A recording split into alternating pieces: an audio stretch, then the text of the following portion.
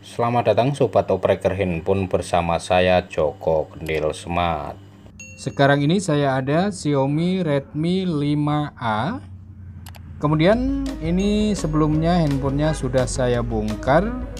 Dan kita akan coba lihat untuk kode tipenya di belakang casing MCE3B ini sepertinya yang versi distri ya versi distri karena menggunakan satu slot SIM card.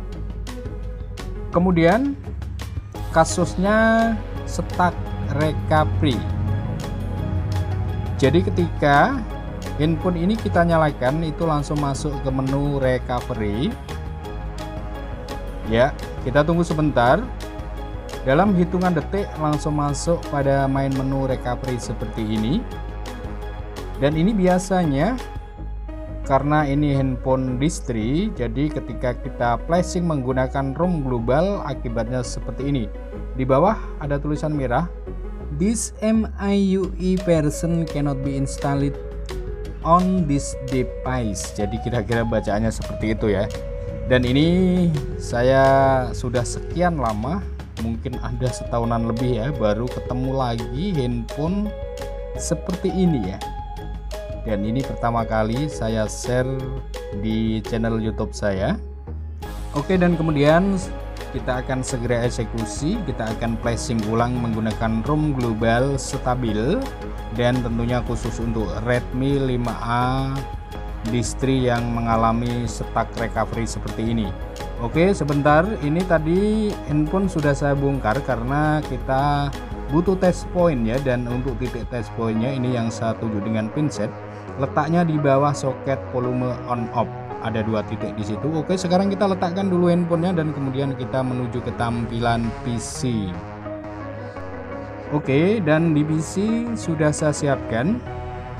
Kita butuhkan tiga bahan di sini atau tiga file. Ada Mi Plus Tool 2017 kemudian driver Qualcomm dan ini untuk firmware Stack Recovery 5A dan ini bisa juga digunakan pada MCT 3B, MCI 3B dan yang saya kerjakan ini MCE 3B. Oke, kemudian kita langsung ekstrak saja untuk firmware-nya karena untuk Mimplastol dan drivernya sudah saya install dan buat teman-teman yang belum menginstalnya alangkah baiknya driver dan Mimplastolnya diinstal dulu dan kemudian lanjut mengekstrak firmware-nya. Oke ini sudah selesai dan ini hasil ekstrakannya foldernya seperti ini. Ya ini firmware khusus stuck recovery pada Redmi 5A versi distributor. Oke langsung saja kita buka untuk Mi Plus toolnya. Kita double klik saja dan ini sudah terbuka. Lanjut kita select di sini kita klik saja dan kita arahkan di mana firmware yang tadi sudah kita ekstrak adanya di desktop tadi ya. Kita cari dulu ini. Kemudian kita bisa double klik atau di sini oke. Okay. kemudian otomatis dia langsung terload di sini. Lalu kita buka device manajernya dulu ya. Ini untuk memastikan nanti untuk melihat kalau handphone kita sudah terbaca oleh PC oke kita siapkan. Dan kita ke handphonenya. Oke kita siapkan pinset dulu untuk mengkonsletkan test pointnya dan juga kabel data. Jadi kita akan gunakan cara ini. Kita shotkan dua titik dari test point ini menggunakan pinset kemudian kita bisa klik beberapa kali pada tombol powernya. Ya seperti itu caranya. Kita shotkan seperti ini dan kita klik beberapa kali pada powernya. Eh, sebentar ini kita nyari posisi saja yang enak di bawah saja. Kita letakkan di meja ya karena ini posisinya harus pas agar bisa melakukan test point. Karena tangan yang kanan kita memegang pinset dan yang kiri kita bisa menekan tombol powernya. Oke jangan lupa baterainya kita pasang. Lalu kita coba ya. Tangan kanan memegang pinset kita shotkan tangan kiri kita menekan tombol power. Oke. Kemudian kita coba koneksikan ke PC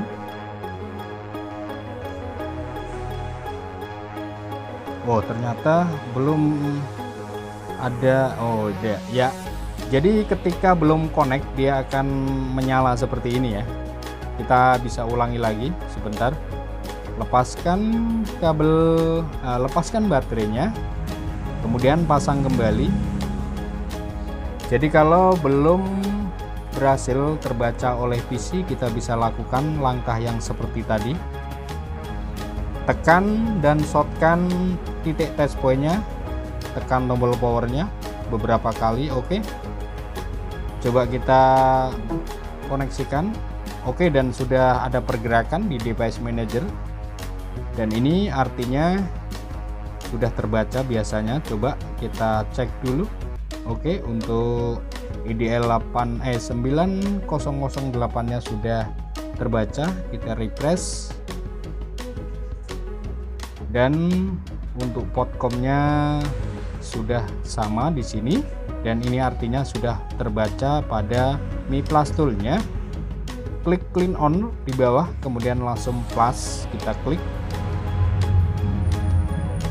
Oke dan proses plusingnya sedang berjalan langsung berjalan ya. Dan untuk placingnya ini cukup lama saya potong saja videonya Oke, ini sudah selesai ya. Plus down dan sukses. Kita ke handphonenya lagi. Kita lepaskan kabel datanya. Lalu lepaskan soket baterainya sebentar, kemudian pasang lagi. Dan uh, sebentar ini kita posisikan kameranya dulu. Kemudian bisa kita nyalakan Oke, kita tunggu. Apakah berhasil? Kalau di bawah ada bacaan Android berarti berhasil. Kalau langsung masuk stuck recovery berarti belum berhasil. Kita tunggu sebentar. Oke, sudah ada bacaan Android di bawah. Ini berarti ini sudah mulai uh, booting ya atau loading. Jadi tadi ini hanya hitungan detik langsung masuk di main menu recovery ya dan ini sudah sukses sepertinya. Uh, kita letakkan dulu. Sebentar. Oke ini oh jadi kita harus mereset manual ya. Di sini ada notif reset pun. Reset pun ya. Kita klik saja jadi harus melewati tahapan ini ya. Kemudian ada muter-muter di situ loading. Lalu sebentar ini agak sedikit gelap. Kemudian ada speed tadi progress. Sebentar lalu e, nyala kembali. Oke dan ini sudah menyala atau sedang loading seperti tadi. Kita letakkan dulu dan ini agak lama. Oke dan videonya saya potong agar tidak menunggu terlalu lama. Dan ini sudah masuk di tampilan awal seperti ini MIUI 9 jadi file stack recovery nya ini masih di MIUI lawas ya MIUI 9 tidak masalah yang penting sudah down dan usernya mau ya. Kita setup saja pilih bahasa pilih lokasi kemudian berikutnya lagi. Sebentar ini kita masih cari next. Kita lewati untuk sambung ke WiFi lanjut lagi lanjut lagi. Oke style sandi lanjut. Pilih tema oke lanjut.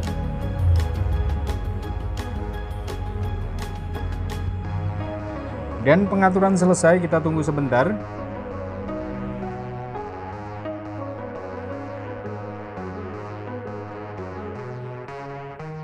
jadi ini sebenarnya kasus lama ya mungkin dua tahun yang lalu saya pernah mengerjainya atau setahun lebih ya mungkin. Dan baru kali ini saya share ke channel YouTube saya oke? Ini sudah masuk tampilan menu ya tetapi redup sekali. Coba kita setting dulu untuk kecerahannya ini biasanya untuk settingan otomatisnya ya hidup ya. Ya ini matikan agar kecerahannya ini stabil. Oke dan ini tentunya sudah mantap ya. Oke kita masuk di menu pengaturan. Kita akan lihat spesifikasinya. Kita masuk di tentang ponsel. Kita akan lihat di sini Redmi 5A ya MIU nya MIUI 9 Oke sampai di sini. Sekian dulu. Terima kasih dari saya Joko Kendil Smart semoga ini bisa bermanfaat. Dan akhir kata dari saya salam operator handphone